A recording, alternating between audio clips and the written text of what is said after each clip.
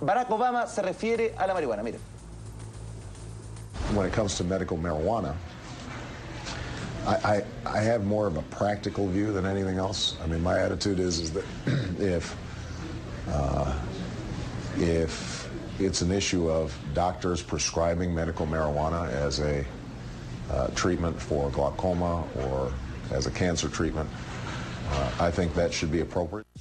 De hecho, yo no quiero dar nombre porque no es necesario, pero hoy en día a muchos doctores, digamos, de todo el lomo, de clínicas importantes, eh, para personas o también de una hija de una señora que tenía la leucemia, la pequeña, él le decía, mire, trate de conseguir, se lo recomiendo que lo mejor para ella, para que recupere el apetito, es que fome un, pito de marihuana Yo te quiero cada tanto. Yo les quiero mostrar el video de Greg, una persona que sufre de mm, esclerosis múltiple. Y miren, por favor, el efecto que produce en él y el testimonio.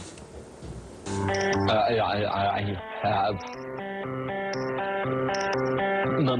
multiple sclerosis. Hold on, the When way. we first met Greg, his shaking was so severe, he informed us that he would need a few puffs of marijuana in order to participate in the interview. The difference was night and day. I mean, just look at me.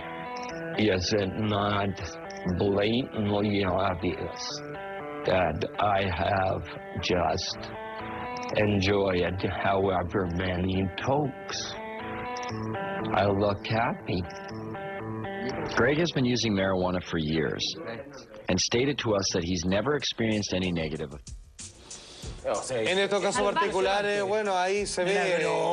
Te Por eso, Ahora hay ¿cachai? gente que no tiene ese excepciones. efecto tampoco la marihuana y que se atrapa y en la cuchara acelerada, las manos mojadas y Por ataque de eso. pánico y angustia.